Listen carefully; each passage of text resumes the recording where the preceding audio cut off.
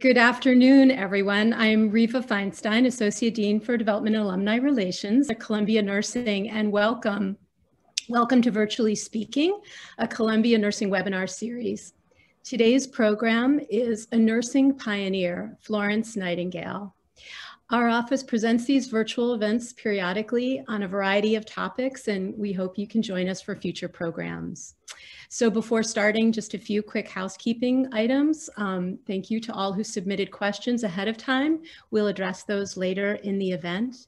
And please note that everyone except our speakers will be muted. Um, kindly utilize the chat feature at the bottom of your screen if you have any new questions today. We will be monitoring those and time permitting, we'll address them at the end. And lastly, thank you in advance for your patience in case we have any technical glitches. We don't anticipate them, but um, and then finally, I would like to introduce today's moderator. Um, it is 2008 and 2014 graduate uh, Kenrick Cato, assistant professor at Columbia Nursing, and also a board member of the Columbia University School of Nursing Alumni Association. Dr. Cato, I turn it over to you. Thank you, Riva. Um, so I'm very excited to join everyone today to celebrate Florence Nightingale and her remarkable legacy. Um, I think one of the reasons I was chosen to moderate is when we were uh, choosing the actual um, art for our new building, and I hope everyone has a chance eventually to see our new building because it's wonderful. I was asked to submit uh, a potential uh, piece of uh, art or photo in um, what we call our theme walls close to the elevator on our sixth floor, which is uh, where most of the research faculty are, are housed.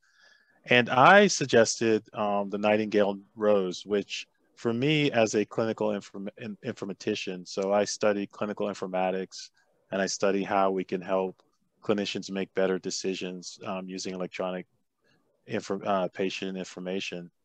Um, the Nightingale Rose, which is a actual uh, visualization that was uh, that Florence Nightingale created or published in 1858, is a depiction of the causes and casualties of death in the Crimean War for the British Army. And um, to this day, it is still um, that visualization or that form of visualization is still used in my field in clinical informatics. And it is really a remarkable piece of um, statistical thinking for its time.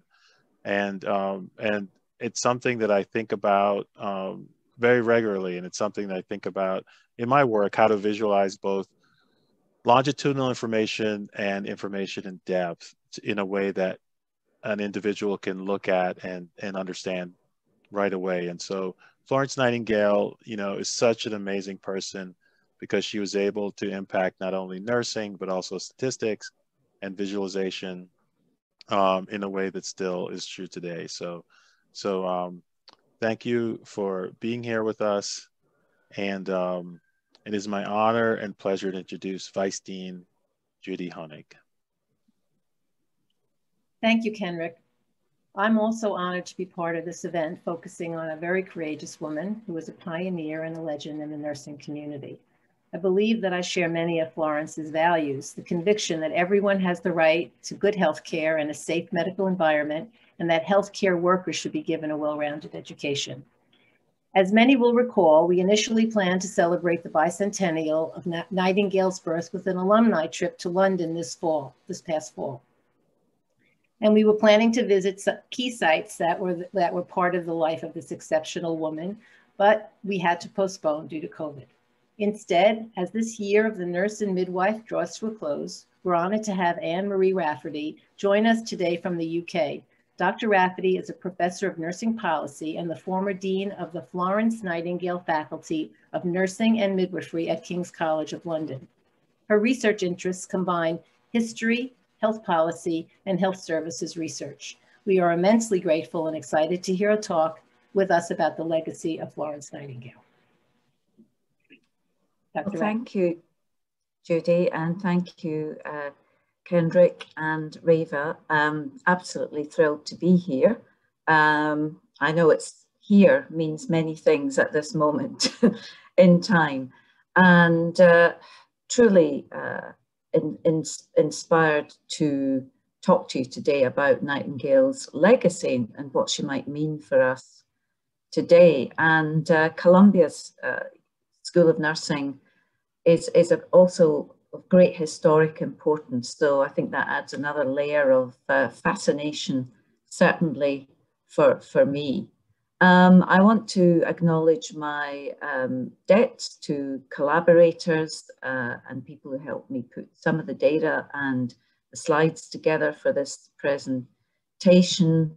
And uh, just to give you a glimpse into Nightingale as a character, and of course as a celebrity as well, which she was in her own li lifetime. I think Judy's already, already referred to her kind of legendary status.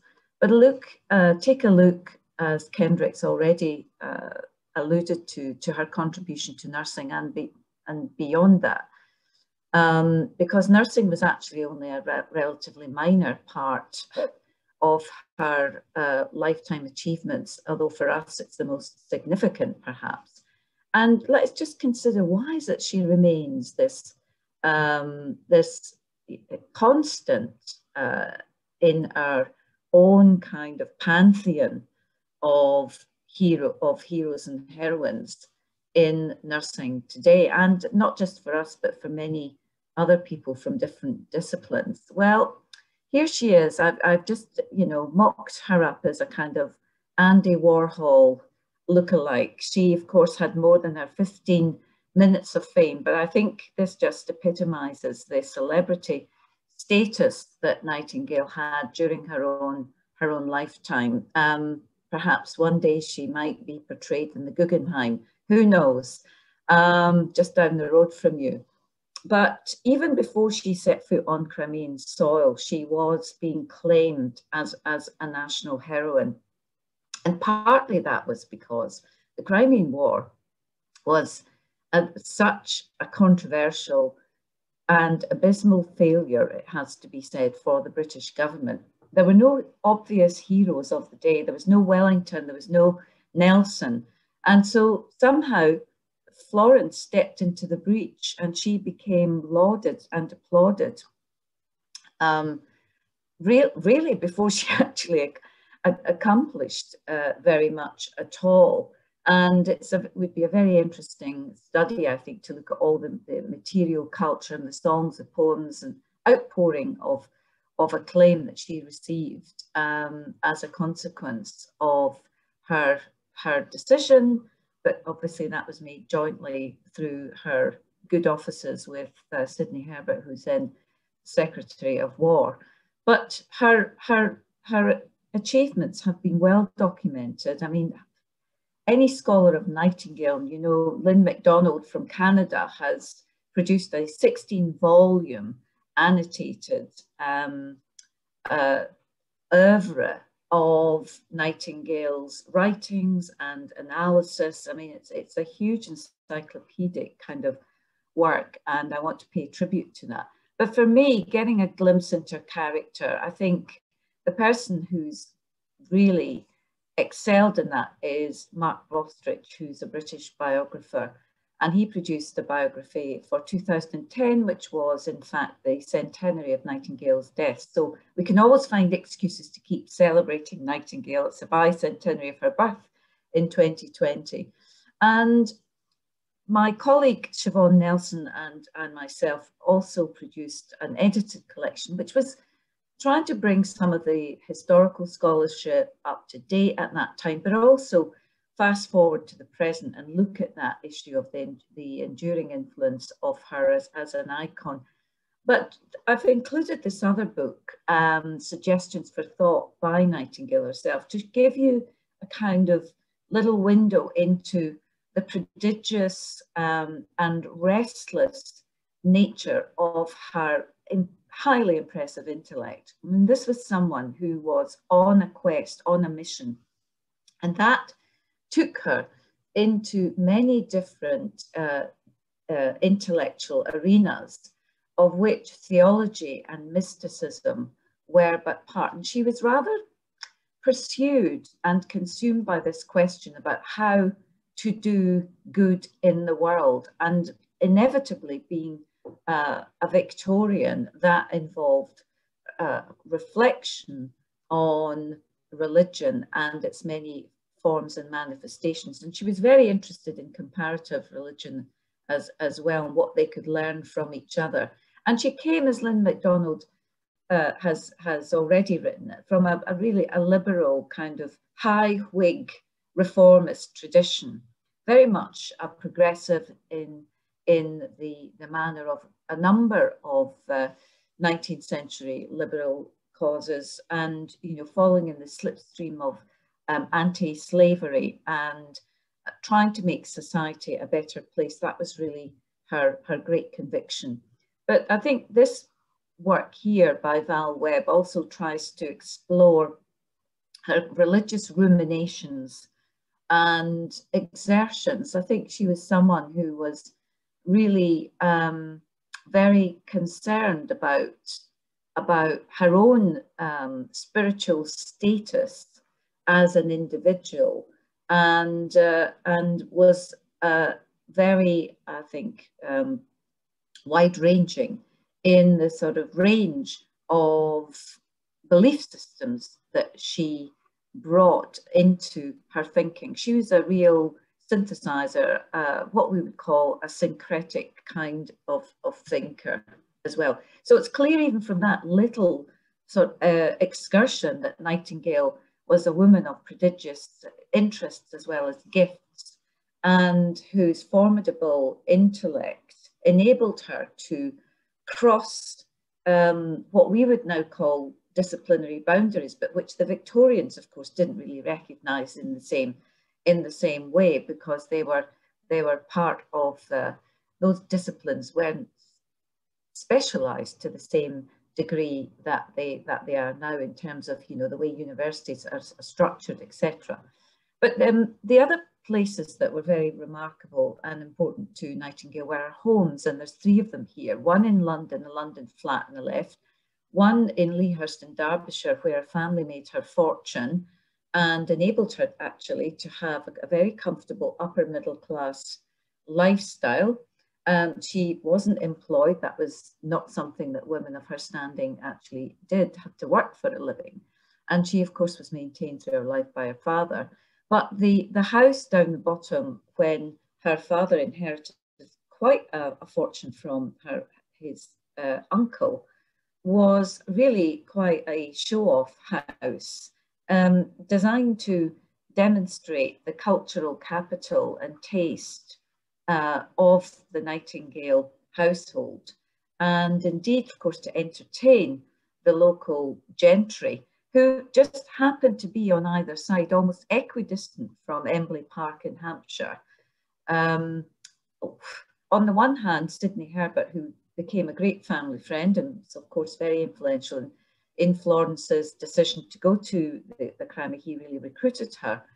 But also Lord Palmerston, who would later become Prime Minister during the Crimean War. So imagine just fortuitously being juxtaposed between these two uh, men who would exert such a, a kind of uh, totemic influence upon her own decisions. And the Nightingale drawing room, the people who passed over the threshold and were wined and dined in the Nightingale household, of course, were the great and the good, the, the intellectual, the scientific, the political aristocracy of the day. You've got Lord Palmerston up top left, Darwin. She, Nightingale, after she came back from the Crimea, went to Bal was invited to Balmoral by Queen Victoria. And in fact, I think Queen Victoria actually made a little jewel for Nightingale. But she was connected with the literary establishment. There's Mrs. Gaskell um, down at the bottom, Sidney Herbert above. So, I mean, imagine being in, in that milieu and having those fascinating conversations.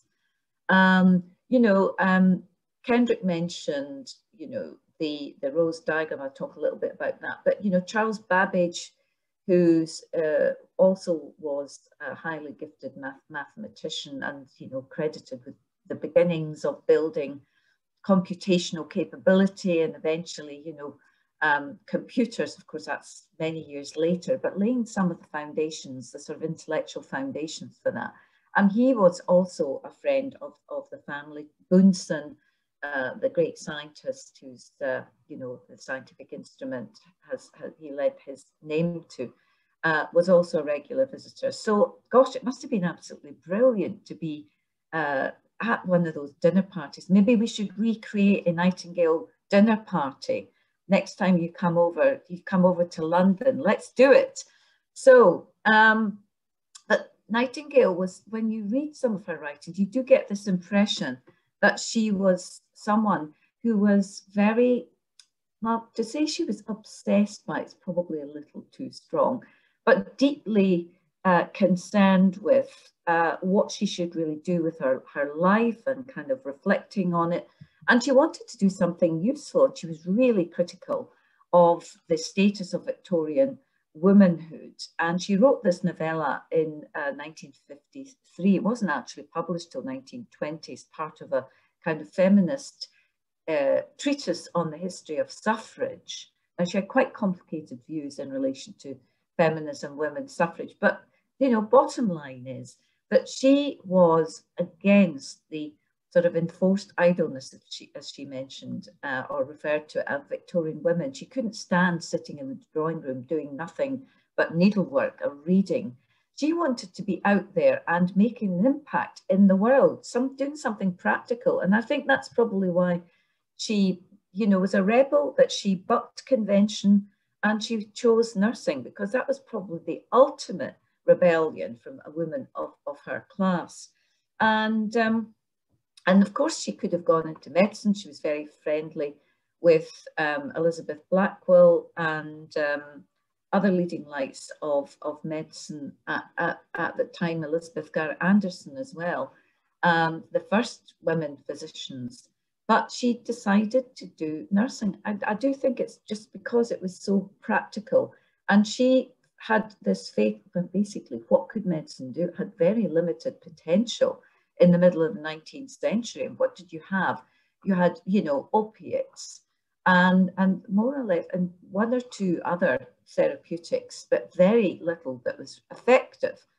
So that's my little take on why she chose nursing, apart from the fact that it was quite a, a rebellious thing to do as well, which perhaps she she enjoyed you know, I think she enjoyed standing up to authority, as we will discover, when she eventually got to the Crimea, she certainly had to stand up to authority, to the, med, uh, the military bureaucracy in order to maintain uh, and uh, secure a supply chain, uh, very much as we've found with PPE now. I'll talk a little bit about that, that later. You know, the logistics was what she excelled at. I mean, she was just a brilliant, had a brilliant administrative a brain, which is how she got into using data as a way of classifying um, symptoms and classifying um, different, different phenomena and, and measurement of health systems and services.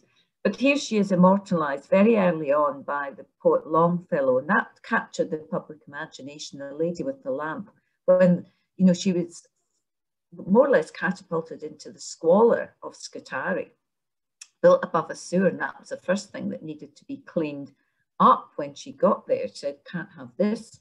And, you know, all of the wherewithal to do that, she was very deeply unimpressed by the military inertia and resistance that she that she um, encountered. But here was William Howard Hastings, who was um, a, a, journalist with the Times. Had it not actually been for him and his writings back to London and some of the little etchings that he did to go with his um, his writings, I don't actually think, I he was probably the first war reporter, that the Crimean scandal as such would have burst on the political scene with anything like the impact that it did. And the British public were appalled.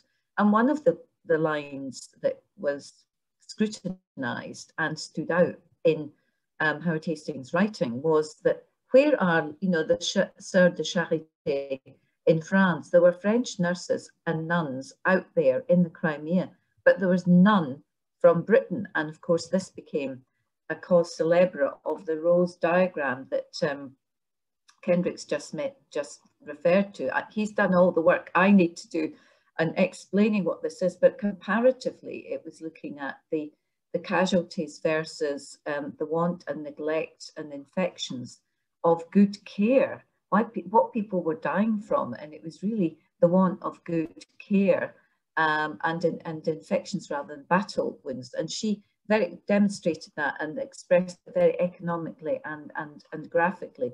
And not only did she do that, but she actually designed data systems as well um, in order to begin to sh show comparisons of different hospital systems and how they performed.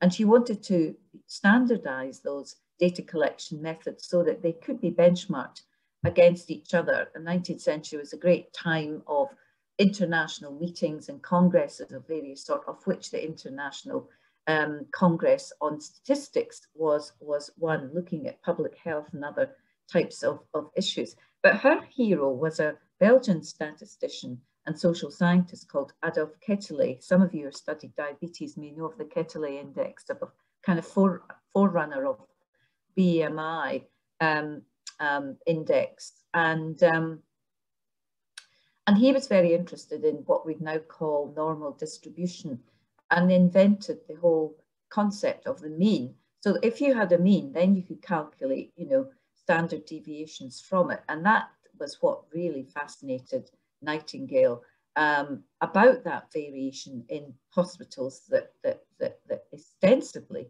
should be, performing in, in a rather similar kind of way.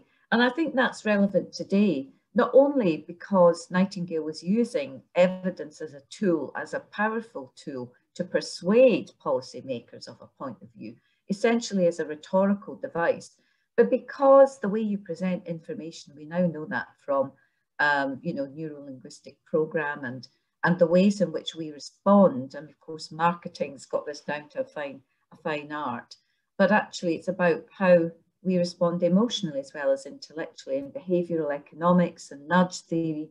Mean, these are all sort of the sequelae to some of the tactics that Nightingale was very aware of and how she wrote and how she presented data and writing. Well, read her books. I mean, her language is exquisite. She's so eloquent on the fundamentals of nursing care, um, fresh, the fresh air warmth, um, ventilation, hygiene. These are all encapsulated in Notes on Nursing, published in 1859, a classic and a blockbuster. It sold 15,000 copies in the first month, which, I mean, how many authors can claim that? To their name nowadays. And it's just so beautifully crafted as, as, a, as a piece of rhetoric. In fact, I was thinking of sending one, I didn't quite get round to it because I got COVID myself um, at the beginning of lockdown um, for International Nurses Day.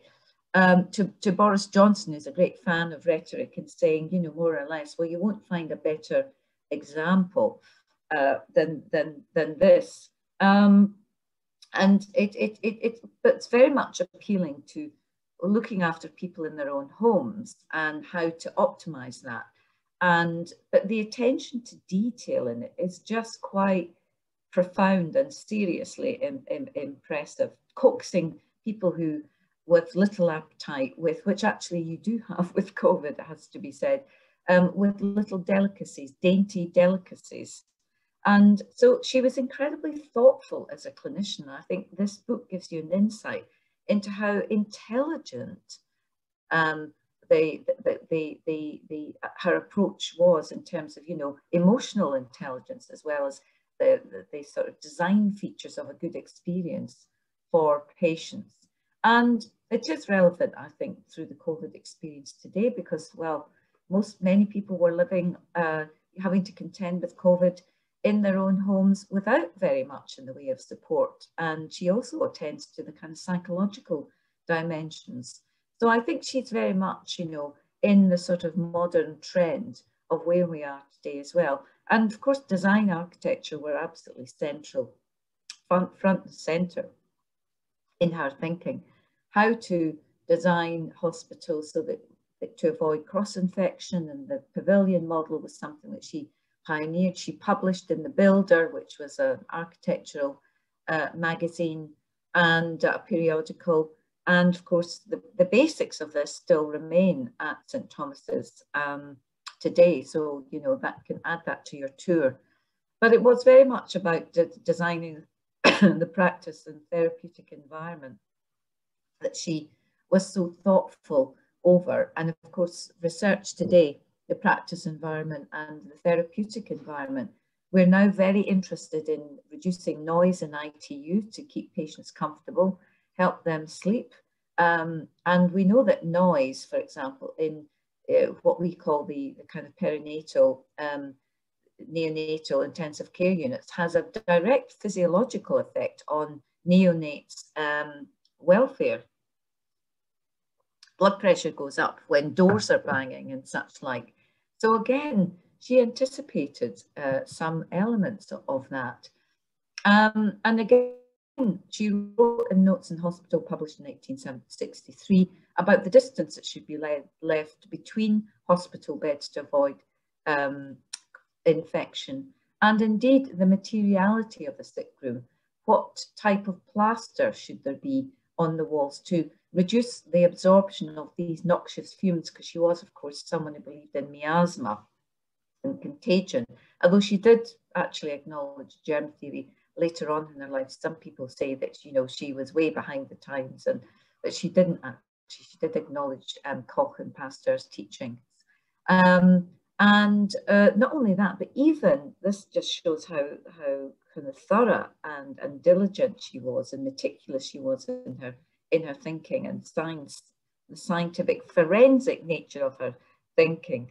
Um, what should a mattress be made of? Should it be made of horsehair or straw? Were, were these more repellent? Was one more repellent of infection than the other? I mean, amazing. Prescience in terms of what preoccupies us today and the procurement, therefore, of those of those elements. So yeah, she wasn't an advocate first off the bat of germ theory, but she did come round to uh, subscribe to it. And of course, all of her teachings on hygiene are so relevant to us today, especially when, of course, we're, we're confronting a virus that, you know, basically is, is, is something which is so resistant to um, any of the usual kinds of weapons that we might throw at it. But maybe just to kind of move into the contemporary, uh, more into the contemporary and the organizational and workforce type of issues. This is an article published in the Atlantic, and it was looking to the future about, you know, where's where, well, of course, this was pre-COVID, where, where are we heading? And the big growth areas for uh, the economy from the Bureau of the Labour Statistics in the US, and this has been somewhat replicated in the UK, are care, computers and clean energy. And like nursing is at the intersection of the future of work as well as the, the, the, the, the workforce it's, itself. So I think that's actually something we don't really capitalize on to our, to our advantage as much as we might. But the shifting demographics and demand show that more people are having more and more things wrong with them and therefore the demand for nursing is itself growing.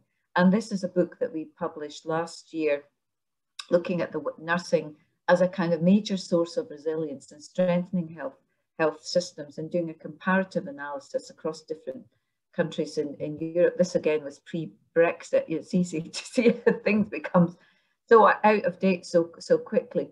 But research that I've had the pleasure of, of, of collaborating on, Linda Aiken being the great luminary, and I would say, you know, very much following in that research tradition of Florence Nightingale, um, looking at big data, demonstrating in, in, our, in our European research that uh, staffing levels impact on patient outcomes. Um, this was, of course, had not been established before. Yes, it had been in Linda's research in, in the US, but, but not across um, multiple jurisdictions in, in Europe. And the same went for education. Better, ed we take it for granted. That's why we're all in higher education education is a good thing and nurses need to be really well educated. Well, of course, we still have some skeptics, people who don't believe that, but this evidence that it's not just uh, the numbers of nurses, it's how well they're educated that makes a difference. And if you start to model that and manage, you know, titrate the, the workload for for uh, nurses and so have a one to six nurse patient ratio, 60% of nurses in uh, a complement of, of care that would enable us to save more than three and a half, we reckon three and a half thousand deaths a year across Europe. So with these manipulations and uh, modeling uh, exercises, you can start to form policy. But of course, you know, now we're in a pandemic and burnout and distress and anxiety and even PTSD are, are growing features of the problems that are being uh, showed up for, for the future. And therefore, the design uh, discipline that Nightingale brought to care is even more important than in crafting those solutions. And certainly these uh, design principles have been used to improve, you know, human factors and quality improvement projects, uh, as well as the patient pathways that we rely on. And Nightingale's name also has lent itself to our field hospitals that we developed across the UK. Um, these huge, uh, literally almost aircraft hangars, 4,000 ICU beds, which were developed in London to deal with the surge. Thankfully, uh, they weren't needed to anything like the extent that we thought they might be because we extended capacity quite efficiently. And this is um, Nightingale in, in her, her flat in London. Of course, she retreated from society and, and actually um, spent a lot of time, uh, you know, in, in seclusion. Um, maybe, you know, the way in which celebrities retreat from society. Uh, it's also a very efficient way to, to, to organize your working life. Make people come to you. You don't have to go to them and have all those all those Zoom meetings. But I think that actually um, Nightingale would have adapted because she was used to spending a lot of time on her own. I think she's probably in Myers-Briggs terms an introvert. Um, I think she would have adapted really well to, to, to lockdown and all of her teachings of hygiene would have, would have uh, come very much to, to the fore and protecting the health of nurses as well, which she was also very keen on which I think we've been less adept at doing. But in addition to that, I think she would also welcome um, the, the developments in informatics and in big data, machine learning and, and AI. I think she would be wanting to use that to great effect to improve the quality of care. Not only that though, she would be getting her messages out to the major global decision fora where uh, you know, global health policy is actually being formulated, she would be talking probably via someone else reading a speech from her or maybe teleporting in via Zoom into the World Health Assembly and, you know, telling Dr. Tedros what he's got to do. She would have no hesitation, I think. And I'm hope, I'm sure she would be an ally of Dr. Tedros as well, but she'd probably be saying, you need more nurses at headquarters and across WHO um, as, as a whole. You need to strengthen that nurse leadership.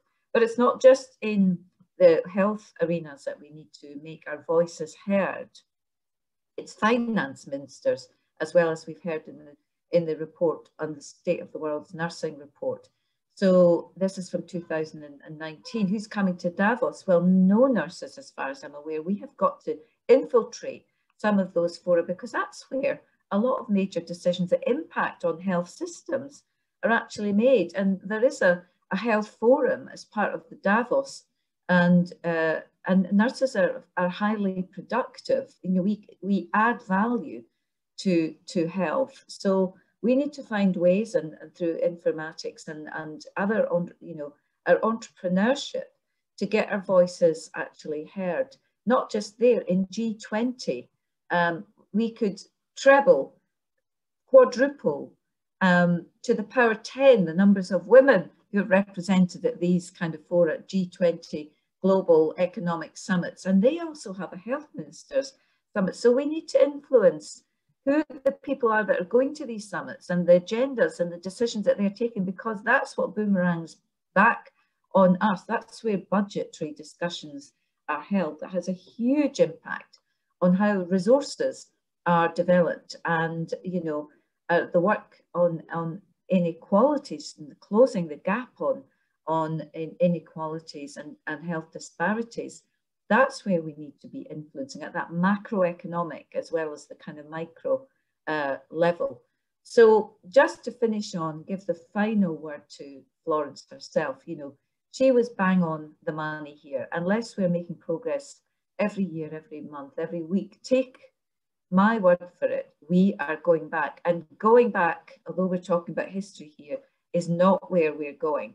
But we've definitely pulled some lessons from history that help us to spring, I hope, forward and build back a better future um, in this, in a, hopefully we will have a post-COVID world. And thank you for listening. And um, that's all I have to say. Well, thank you, Anne Marie. Um, that was um, amazing, and um, it's always great to to learn more about Florence Nightingale and see, uh, you know, to just kind of see more uh, more of the depth of her influence. Um, before I start with the questions, I want to remind everyone um, to that we have the chat open, and so it'd be great as we speak to um, just enter any questions that you might have into the chat window, so that um, we can ask Dr. Rafferty. Um, so uh, I'd like to start off with a question of my own, and, and then um, we can move to some other questions. So you'd mentioned um, sending notes on nursing uh, to Boris, um, your fearless leader. And I'm just wondering, you know, so we had uh, a, a, question that was sent to us um, before, um, previous to the um, talk, and and they and uh, this individual asked, you know, when you when you think about the notes in nursing and um, some of the essential points that Florence Nightingale talked about. Those would be pure air, pure water, efficient, um, efficient drainage and cleanliness and light. Um, you alluded to the fact that they're just as pertinent now as they were 160 years ago. Um, do you do you think if if uh, and this is you know going into the head of Florence Nightingale, but do you think if if we practice what she preached that that would have helped to mitigate some of the effects of the COVID pandemic that we're in right now? Thanks, Kendrick, and thanks for the question. Yeah, I mean, absolutely. I hope I've conveyed the sense that I think uh, that would have helped a great deal. But I guess the, you know, the the, the, the context of, of, of COVID has, you know, forced us almost to fall back on some of the, the, the hygiene principles that she held very dear. In fact, hand washing is something that she refers to in notes on, on nursing. And that's now we know, I mean, so critical for trying to reduce cross infection as as well. Um, and I think there's there's a, a, sort of new found interest in some of her teachings as a consequence of that. But it's clear that it requires huge reorganization of our current, uh, what we might call plan, our current estate in order to make, you know, some of those things possible. But, you know, I know that ICUs are being redesigned so that people can look out um, eventually onto green, you know, um, green sort of visual scapes, that that in itself has been shown to be therapeutic and, and associated with better, better outcomes. So light is tremendously important. So I do think her teachings in that regard are a coda for today. Absolutely. Yeah. Great. Um, so we have a question um, from Joy Favazua. Favazua. I uh, apologize if I did not um, get the name last name correct, but Joy asks if if she were to um, read just one book on Florence Nightingale, which book would you recommend? And also, did she write more? Um, did she write more than than on on books, which one would you recommend that I that she reads? I do think, honestly, Notes on Nursing is is a great a great read. I mean, partly because of the aesthetics of the language that Nightingale uses. She has all of these, she was a real stylist. So, I mean, I think English literature scholars would, would find her of, of great interest as well as to how she crafted her language, um, which was to land, you know, that's why I'm talking about her as a kind of um, a mistress, if you like, of, of rhetoric. Um, her language is designed very much to, to impress and, and persuade, almost quite imperceptibly those. It's not a sort of in your face type uh, argument. It's gentle. It's nudging you along a, a line of, of argument um, and sort of pulling you with, with her. You're sort of walking with her. So I, I think the, the, the style and eloquence with which she actually wrote is, uh, is as much is as important as the substance of actually what she was saying. It's not what she was saying; it was how she was how she was saying. It's it's just it's just beautifully written. Um, so I would yeah, notes on nursing. It's a belter. It's a winner. Go for it, Joy. Go for it. Um, and so um, another question that that occurred to me when you were you were actually giving the background um, and just talking more about the milieu um, in which Florence Nightingale um, operated, uh, the intellectual milieu, it seemed it seemed like you know there was a lot of intellectual kind of ferment going on, and I wonder when you look back at uh, the environment that she was in, what you would say about um, how those different influences might uh, be reflected in potential um, uh, nursing education today, um, and what you know what you think uh, would what would Florence Nightingale say about the the ele- the essential elements of nursing education um, uh, to be a successful nurse leader today? Thanks, Kendrick. I think she, you know, she was very concerned with moral, the moral standing of the nurse. And that was very much a, a, something that exercised a lot of Victorians, you know, the state of your soul and your kind of moral probity and behavior. Um, there was a great value placed on on that, um, the, mo the moral worth, and how you would demonstrate that as well.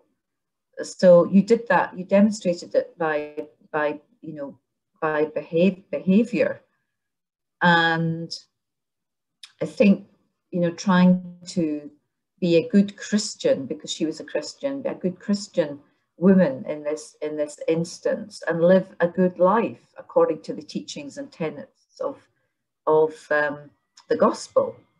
So you know, it's it's it's very much um, um, tied up with um, a sort of moral fervor.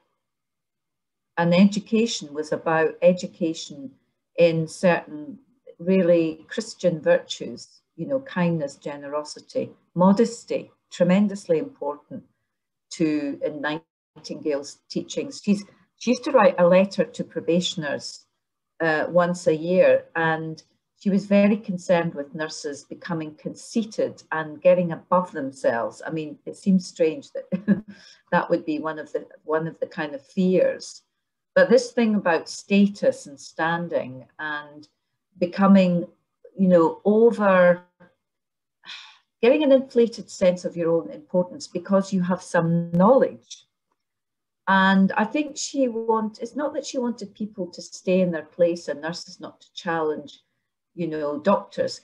Far from it. She believed a little knowledge was really dangerous because you might think, ha, I know what to do in this instance. And it would kind of upset the apple cart. But what she did want was to, to be to be well versed and intelligent in their approach to obedience, which didn't mean slavishly following orders regardless of, of their integrity. So I think she wanted nurses to under, you know, understand their limitations um, and their roles, their scope of practice, as we would call it today, but to be well grounded in the art and the science of, of nursing itself, but exquisite observers of human behavior.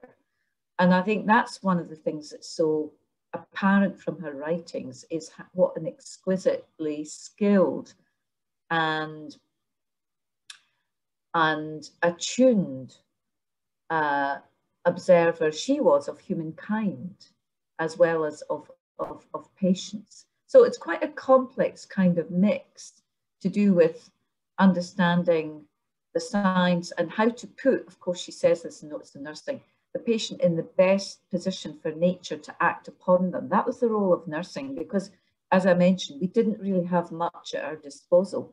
So the onus on the nurse was even more profound than it was on the doctor because nurses could make or break. She really understood this. Nurses could make or break the welfare and outcomes for patients, as she had seen by virtue of their attentiveness, their scrupulousness, or their neglect.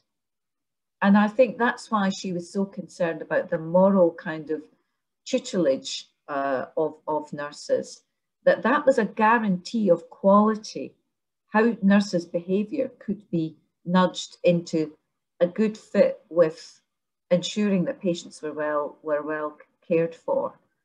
Um, so it's a part, you know, it's quite a modernist kind of um, theory, if you, if you like. Um, but yes, nurses had to be well versed in the theory and, and the practice of their craft and reflecting on it because she also believed that nurses should not just be observers, but they should note their observations. And she suggested that practitioners should keep diaries, you know, like we do, reflective diaries. They should keep diaries of patients and understand what is helpful and what is less helpful. And so that required, you know, a conversation to happen um, through learning. And um, I mean, you know, she didn't, I mean, this is all done from a kind of strange context of not stepping foot inside St Thomas's Hospital once it was once it was built, and the training school in 1860. Um, she didn't actually stand in front of a class of nurse probationers. Everything was done very much from a distance. So again, I think she'd be very comfortable with, you know, online learning platforms. And I think she would be at the forefront of those developments of blended approaches to learning and using the latest tech she would be wowed by that, but she would be wowing the techie people as well. I have no doubt. Um, so we just had a question come in, and I was wondering, um, Judy, if you could address this question. Um, and the question is, um, does uh, Nightingale's teachings, does Columbia University embrace them? And um, are there currently any lectures on Nightingale's leadership?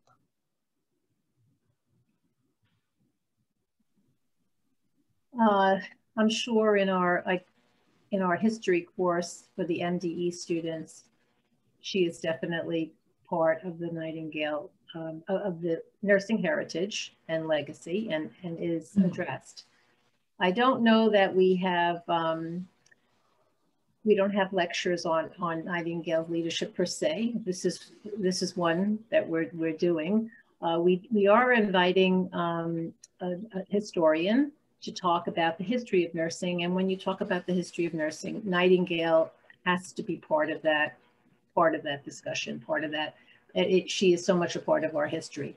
And being celebrating the year of the nurse and midwife, it, it's come up many times, not in a class, but in presentations and um, and other activities. But we we do address it when we talk about history. The MDE students get that in their uh, program. Honestly, I don't know how much history is in the DNP program or the PhD program to really speak to that. Great, thank you. Um, Anne Marie, I have another question. So um, you obviously have spent a lot of time studying Florence Nightingale, and, and uh, kind of related to that would be understand studying and understanding the Victorian era. Um, and I'm just wondering if you could speak to a little bit because I know you know Florence Nightingale is is a historical figure, mm-hmm. and um, could you? I think it's it's fascinating um, when you think about historical figures and try to understand and compare them to um, to where we are now. Could you just spend a little bit of time? I know this is you know people spend their whole careers talking about this, but just kind of talking a little bit more about the context of Victorian era and and how that um, how how that would have shaped Florence Nightingale? Well, I think the first thing to say, Kendrick, is that she lived quite a long time 90 years. So, you know, she covered um, perhaps different eras within that, um, within that time as well. And it was a period of, I think you used the word ferment, and I think that's so appropriate, of great political upheaval as well. Um, not least in terms of, let's even take the church, and we're talking about all the convulsions that were uh, impacting the Church of England and the rise of um, different evangelical religions. So that were challenging the authority of the established church in England at the time. So that was really a massive kind of uh, movement, which also was reflected in nursing because, and I'm thinking now not just in, in the established church, but the Oxford movement, which was coming out of Catholicism, was spawned um, religious orders came were byproducts partly of some of those developments as well. And of course, it was mainly women of religious from religious orders were the women who went out to the Crimea and those in the, the party with with nightingales. So in some ways, that kind of group of women represented in a sort of microcosm a lot of that that ferment and the, the dis, dissent. I mean, we're talking about religious dissent here and infighting that emerged by the different rivalries which rose up as a consequence of these religious um, disputes and disagreements. And that's partly why, you know, Nightingale had problems out in the Crimea because, you know, the primary loyalty of a nun or, or someone from the sisterhood of St. John's or Mother Clare, Clare Moore's um, sisters, um, was actually the Catholic and the different stripes of Protestant, high church and low church kind of orders, was that your primary loyalty is to the mothers, you know, of the house, the mother superior of your order, not to a secular leader like Florence Nightingale, so there were all these tensions, not just of religions and allegiances, but also of loyalty to this. Who is this woman? Florence Nightingale. Who, who does she think she is taking charge? So it was, it was really, really, really tricky. Um, and there's a fantastic book by a friend of mine that I think really goes into this in, in, in great depth and, and detail called Anne Summers, and it's called um, Angels and Citizens, and it's about some of the squabbles that developed between that initial party going out to Crimea. So, in a sense, Nightingale kind of brought together the, the fulcrum of those discussions and how they worked their way into and through nursing through these diff different religious orders. St. John's House was high Anglican. There were the Catholic orders. and they all had their own points of disagreement and their kind of rivalrous relationships um, and sort of moral standings on, on care. So try, it was like, it must have been like herding cats for Nightingale, trying to get this lot knocked into shape and actually forming a team. Yeah. You know, team, team Florence, come on, let's get to it. That, that was not easy at all at all so, to get so, to have yeah, her so, accepted as a leader. We take it for granted, but it wasn't. She wasn't accepted as a leader by the, the military establishment. They were saying, and you know, the, the, the, the head honcho, um, Major John, I've forgotten his second name now, come back to me. Um, thinking, you think I'm taking orders from a woman? You've got to be joking. This wasn't a done thing. And she was saying, I need these supplies, this, that, another. And eventually, banging her head against a bureaucratic wall, she set up her own um, supply chain and her own fund to get the supplies she needed shirts, bedsteads, linen, the whole shebang, dressings, the whole shebang. She brought that out to the Crimea herself. It was amazing. She just bypassed authority. Fearless, fearless, a woman of tremendous guts, courage, and determination, and not taking no for an answer.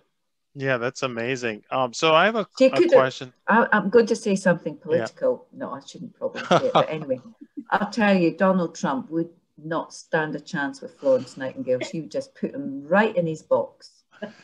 So, um, just related to the difficulties that she encountered, um, there's a question about um, kind of related to that. Did she ever speak of being overwhelmed or regretted any of the actions or um, the or ways that she mm, handled some of the things? Yeah, that's a really great, great question. Do you know? I think she kind of agonized about lots of things. I think she was a bit. This is me, just pop psychology, right? So just take it with a pinch of salt. But I, I, I get the impression that she was someone who really was almost really very exercised by the kind of state of her psyche and her soul. I mean, remember, she nearly died in the Crimea of, of what we think is brucellosis. And I think she probably carried like symptoms of what we might call long COVID, fatigue.